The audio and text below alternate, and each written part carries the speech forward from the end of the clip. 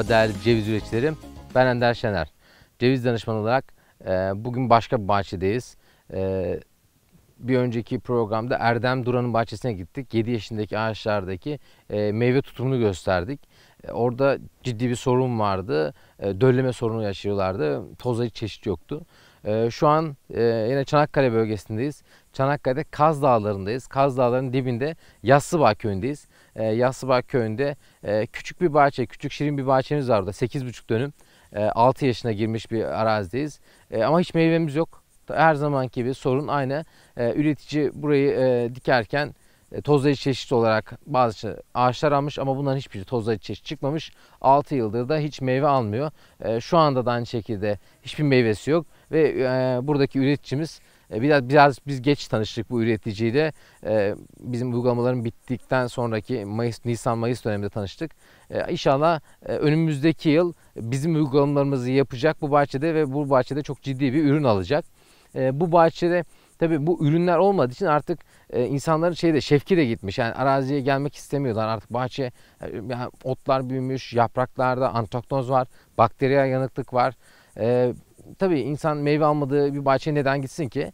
E, şimdi bizimle birlikte inşallah e, bu sorunları da çözeceğiz. E, ve ağaçları güzel bir şekilde büyütüp önümüzdeki yıl bu ağaçlardan çok güzel meyveler alacağız. Ve tekrar bu bahçeye geri bir dönüş yapacağız. E, ceviz üretimi çok kolay. Ceviz yetiştirici çok kolay. E, bu kolaylıkları biz buradaki arazinin sahibi Şahin abimiz. E, Şahin abimize de bunu aktaracağız. Öğreteceğiz bu bilgileri ve burası da artık bir ceviz üretim makinesi haline gelecek. E, şu an bahçe sahibini Şahin abi e, görüşme, görüşme yapacağız. E, bu bahçenin geçmişiyle ilgili bize bilgi verecek. Ne zaman yaptı, nasıl yaptı e, ve yaşadığı sorunları anlatacak. E, daha sonrasında bahçedeki şeyleri göstereceğiz size. Hastalıkları göstereceğiz. E, evet, gelişim sorunlarını göstereceğiz. E, ve birçok bilgi vereceğiz. Bunları bizim uygulamamı yaptığımızda veya bizim önerilerimizde neler oluyor, artıları, eksileri bunları anlatacağız bu programda. E, şimdi Şahin abiyle görüşüyoruz.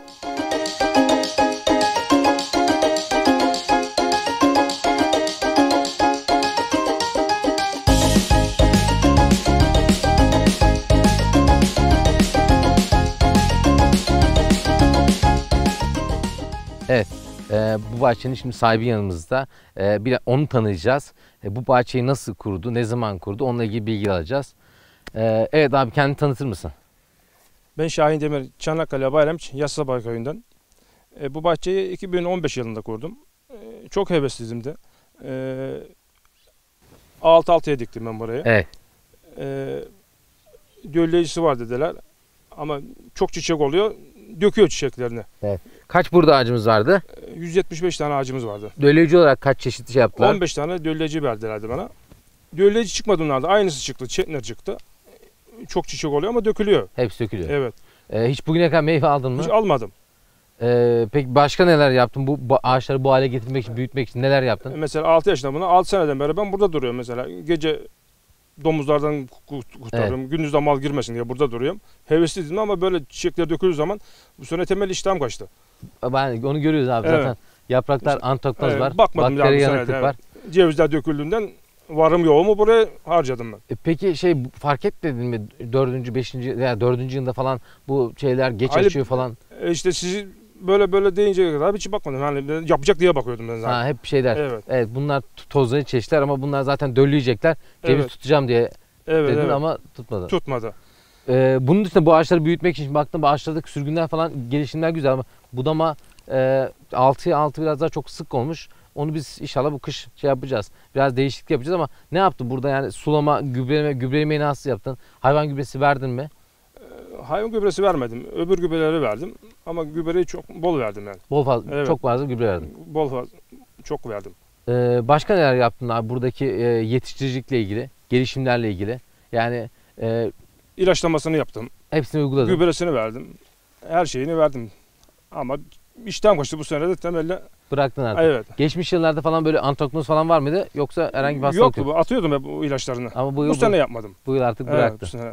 İnşallah önümüzdeki yıl şey yapacak. İnşallah. Ee, bizim programları evet, evet. uygulayacak. İnşallah sizin programı Ee, uygulayacağım. burada da ceviz tutumunu sağlayacağız. İnşallah. Ee, peki bizim bu uygulama yaptığımız bahçeleri gördün mü? Yani dölleme yaptığımız bahçeleri gördün mü? Oradaki evet meyve gördüm. tutumlarını gördün mü? Bu Dalaba köyündeki Süleyman abinin gördüm. Çok güzel orası. Onu siz Sizin uygulamanızı yapmış orası. Evet. Çok güzel orası. Ee, yani şeydeki ağaç gelişimleri gördün mi? Yapraklar, Evet, meyve evet, tutumu. çok güzel. Ee, burada şey de biz görüyoruz şimdi. Sen çok fazla bir şey gübresi vermişsin. Normal azotlu gübre vermişsin. Ee, dalların bir kısmı patlamış. Büyük bir boşluk var. Bir metrelik kısmında boşluklar var. Ee, o var şu an. e, meyve gözleri de çok fazla pişkinleşmemiş. E, şimdi şey yapalım. Birlikte seninle arazi gezelim. Evet. Hem şeyleri gösterelim. Üreticilere hastalıkları gösterelim. Yani araziye gelmezseniz ne olur? E, antraknoz ne durumda olur? E, bakteri yanıklık nasıl olur? Veya işte biz homojen uyanma için Mart ayında bir gübre atıyoruz. E, onu atmazsanız ne olur? E, ne gibi zararlar olur? Biraz ona değineceğiz. E, bir de önümüzdeki yıl e, meyve verecek gözlerimiz var. Meyve gözlerimiz var. E, biraz onlarla ilgili bilgi vereceğiz. Şu an çünkü Şahin abi buradaki şeyi bırakmış artık üretim bırakmış. E, ama önümüzdeki yıl bizim ceviz almamız için e, önümüzdeki yıl çiçek açacak meyve gözlerini bizim şey beslememiz gerekiyor. Biraz daha büyük şişirmemiz gerekiyor. E, artık bundan sonra e, bu bahçede bizim uygulamalarımız yapılacak. Önümüzdeki yılda diğer bahçelerimizde olduğumuz gibi daha önceki programlarda işte Metin Durmaz'ın bahçesinde gösterdiğimiz gibi veya işte Erdem Duran'ın bahçesinde gösterdiğimiz gibi oradaki uygulamanın aynısı burada da yapılacak. Burada çok güzel ürünler alacağız. Ee, bizim yaptığımız uygulamalar gerçekten çok basit. Ee, sadece belli dönemlerde, belli oranlarda belli ürünleri kullanıyoruz. Ee, sonuçlar muhteşem.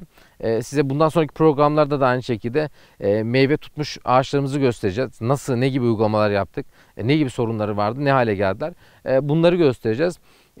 Şimdi Şahin abiyle birlikte arazisini geziyoruz.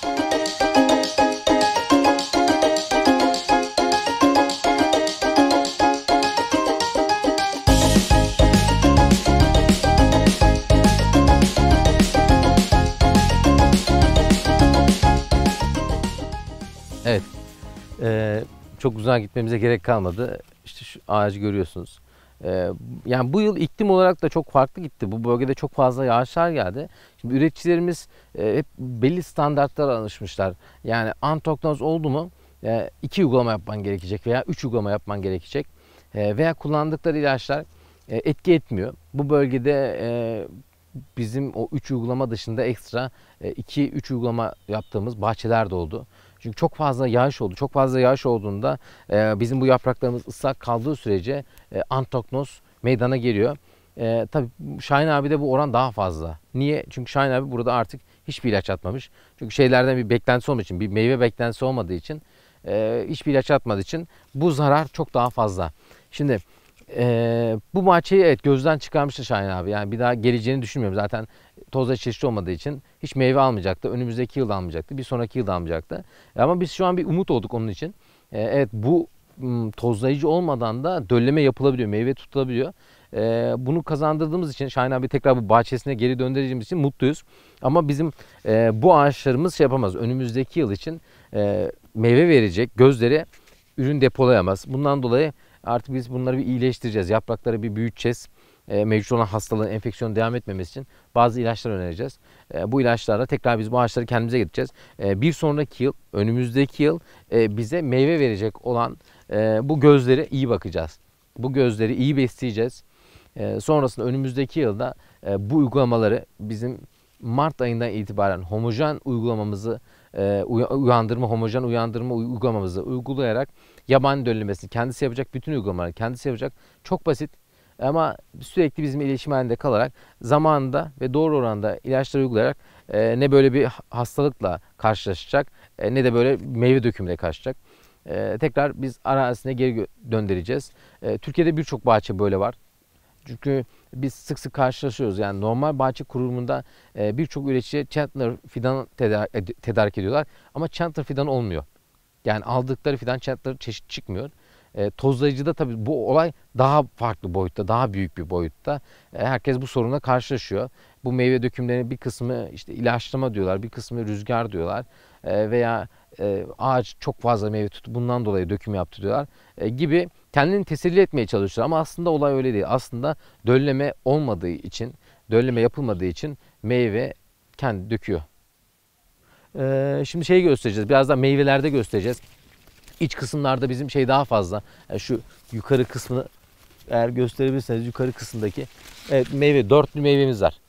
Yukarıdaki meyveyi görüyorsunuz ama sonuç tabii kötü. Niye? Bütün hepsi gitmiş. Yani bu bahçeden e, alacağı bir meyve varsa, 100 kilo meyve varsa artık o da yok. Niye? Hepsi antoktoza yakalanmış. Bakteriye yanıklık da var kısmi olarak bu bahçede. E, bakın bundan sonra ama bu sorunlar olmayacak. Biz şimdi uygulamaları hızlı bir şekilde yapacağız burada. Yani bu enfeksiyonun yayılmasını durduracağız. Çünkü bu bölgede halen daha bir yağışlar var. Bu yağışlar devam ettikçe bu enfeksiyonun yayılma hızı artacak. E, bunu durduracağız. E, evet şu meyveyi görüyorsunuz. Yani, yani üreticilerimiz böyle bir şeyle karşılaşıyor. Bu antoknos.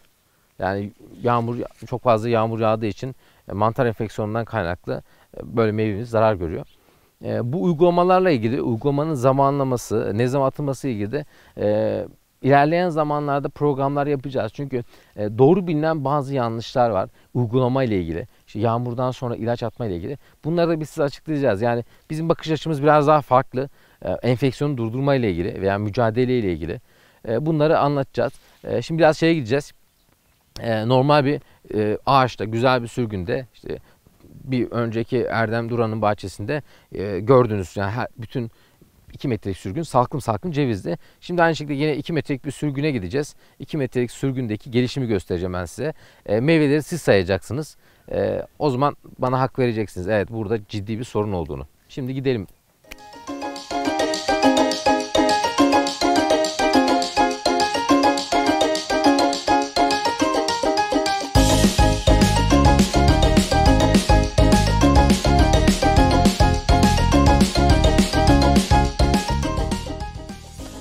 Şimdi 2 metrelik bir sürgünümüz var. Bu sürgündeki meyveleri sayacağız. Kaç tane meyveniz var? Ee, Şahin abi sen meyveleri say. Ben de e, kaç tane yan sürgün vermiş e, onu sayayım. Ona göre bir karşılaştıralım toplamı.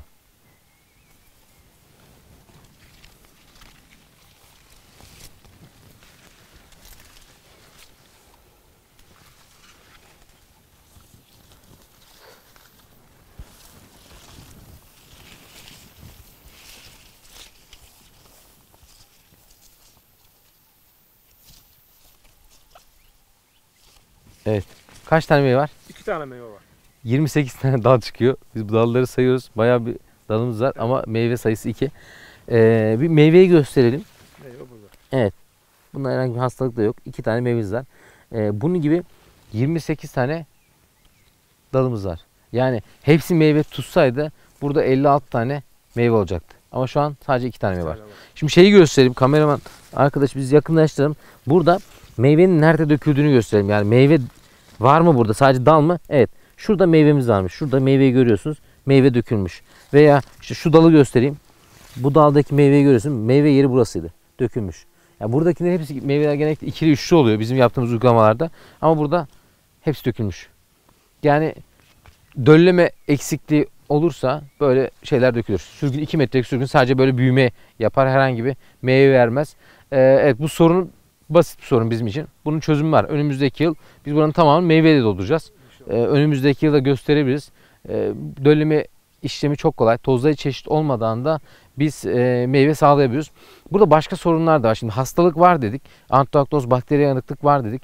Dölleme ile ilgili sorun var. Ama burada e, ağaçlarda homojen bir uyanma yok. Yani o ciddi bir sorun. E, nasıl derseniz e, birazdan bir ağacın yanına gideceğiz. Bu ağaçta da mutlaka var. Belli yerlerde uyanma var. Ama çok bariz olarak bazı ağaçlarda daha yeni yeni çiçekler var. E, 20 Haziran 20, gelmiştim 20 Haziran'a gelmişiz. Ama halen daha şeylerde e, ağaçlarda yeni çiçekler var. Bu çiçekleri şimdi göstereceğiz. E, ve bu çiçekler döllenmeyeceği için meyveler dökülecek.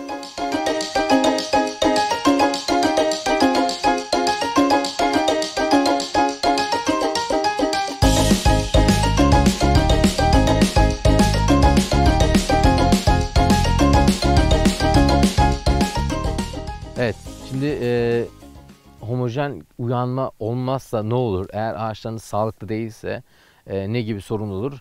E, onu göstereceğiz. Şimdi Şahin abiden e, bir tane meyve koparmasını isteyeceğim. Şu an bu ağaçların üzerindeki herhangi bir bir meyveyi koparmasını isteyeceğim. Abi bir tane meyve kopar mısın bu ağacın üstündeki? Evet. Evet bizim normal şu anki mevcut çantların büyüklüğü bu. E, ama bu ağaçlarda bir homojen uyanma yok. Zaten e, döllemedeki temel sorunlar da bu oluyor. E, ağaçlar yeteri miktarda polen bulmadığı için e, meyveler dökülüyor. E, bunun da sebebi çiçek center'daki çiçeklenme süresinin uzun olması. Şimdi e, normalde işte 14 gün diyorlar, 21 gün diyorlar. E, biz şu an 20 Haziran'dayız. Ama bu ağaçlarda çiçekler var. Daha yeni yeni çiçekler var. E, yani çiçekleme sürecinin eğer ağaçları sağlıklı beslemezseniz, e, o gıdaları vermezseniz, o vermeniz gereken gübreleri, yaprak gübrelerini vermezseniz ne olur? Şimdi onu size göstereceğim. E, siz de şaşıracaksınız. Şu an evet buraya bir şey yapalım, odaklanalım. Şu meyveyi görüyorsunuz değil mi? Ya bu meyveler daha yeni açmış. Yeni çiçek açmış. Evet polen bekliyor. Yani 20 Haziran, 20 Haziran'da polen olmaz. Meyvenin büyüklüğünü görüyorsunuz. Bunlar ne olacak? Bunlar 2-3 gün sonra dökülecek. Dölleme gerçekleşmediği için. Ve yani işte bu dönem zaten geçti ama e, bunu şey gibi düşünüyor. Yani Mayıs ayında 5 Mayıs'ta bizim şeyler çiçek açmaya başladı. Çantalar bu bölgede çiçek açmaya başladı.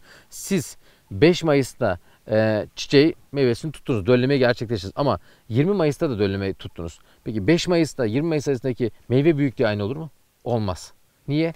20 Mayıs'taki açtığı için sonradan açtığı için küçük olacak. Ama 5 Mayıs'taki döllemeyi gerçekleştiği için yarışa 1-0 değil 5-0 önde başlıyor.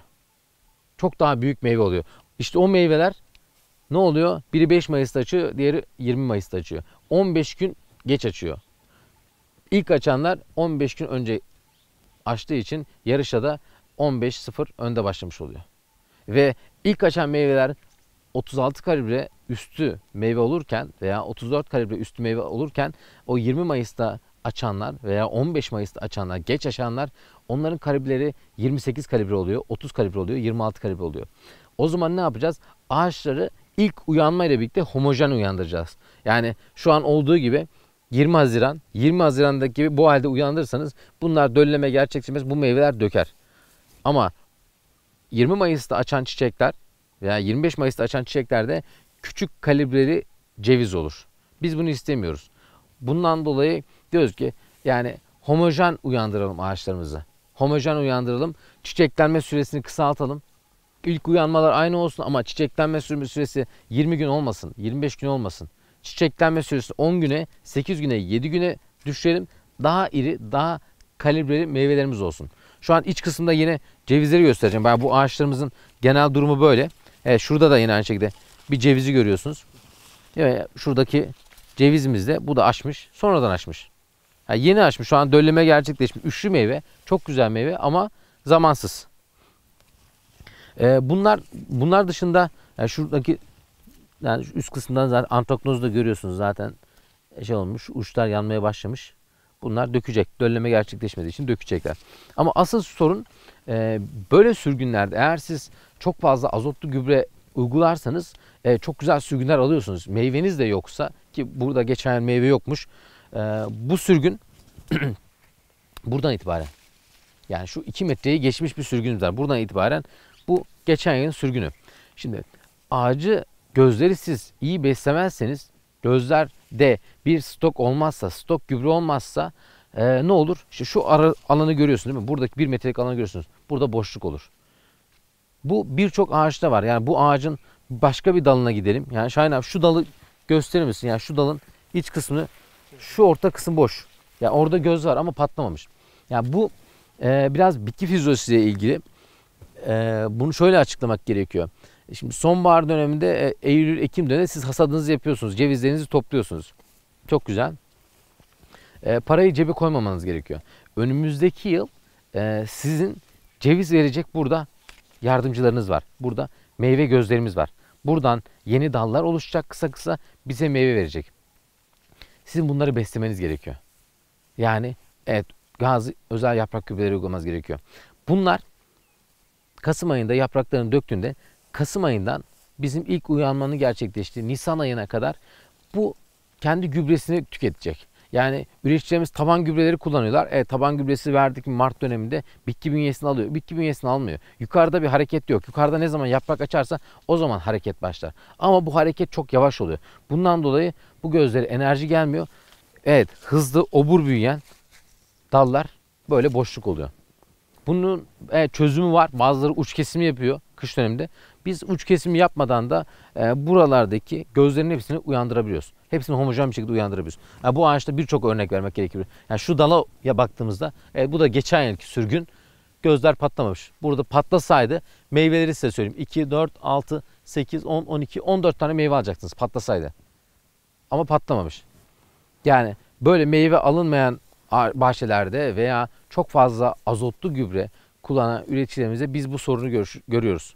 Ama bizim bahçelerde e, bunları göremezsiniz. Eğer iyi bir uygulama, homojen bir ilaçlama arkadaşlarımız dediğimiz gibi yaptıysa bu sorun yok. E, bu ciddi bir sorun. E, bu bahçede var ama bu yıl olmayacak. Yani önümüzdeki yıl e, biz meyve almaya başladığımızda ilk Mart ayında biz uygulamalarımızı başlayacağız ve hepsi homojen bir şekilde uyanacak. Çok daha fazla meyvemiz olacak. E, onun için Şahin abiye söylüyorum bu ağaçlar çok uzun. Bunlar hepsi meyveye geldiğinde hepsi yerlere gelecek bir çözüm bulmasını istiyorum şimdiden. O da şimdi hazırlıklarını yapacak. Önümüzdeki yıl diğer bizim size gösterdiğimiz bahçelerdeki gibi e, Dümrek'teki Metin Durmaz'ın bahçesindeki gibi veya Erdem Duran'ın bahçesindeki gibi ağaçlar meyveden yıkılacak. Bu çok kolay ve kendi ellerinde. Bu uygulamaları kendileri yapacak. Herhangi bir özel bir şey yok. Ürünümüz falan yok. Normal gübrelerimizi kullanırız. Yaprak gübrelerimiz var ama doğru zamanda doğru miktarda uygulayarak e, Şahin abi de diğer üreticilerimiz gibi çok güzel ceviz alacağını düşünüyorum buradan. Evet. e, bizi bahçesine ağırladığı için Şahin abiye teşekkür ederiz. Şahin abi de bundan sonra e, bizim danışmanlığını yaptığımız bir üreticimiz. E, dediğim gibi biz çok büyük arazilerde danışmanlık hizmeti vermiyoruz. E, asıl şey bizim küçük üreticilerimiz, köylümüz olan küçük üreticimizi meyve tutumunu sağlayarak, üretimini artırarak, karını arttırmak. E, bu şekilde biz Türkiye'deki e, ceviz üretimini arttırabileceğini düşünüyoruz. Şahin abi tekrardan teşekkürler. Ben de teşekkür ederim geldiğiniz için. İnşallah yengeye bol mahsullerimiz olur. Aynen inşallah, İnşallah. birlikte güzel çalışmalar yapacağız. İnşallah. Teşekkürler abi. Ben de teşekkür ederim.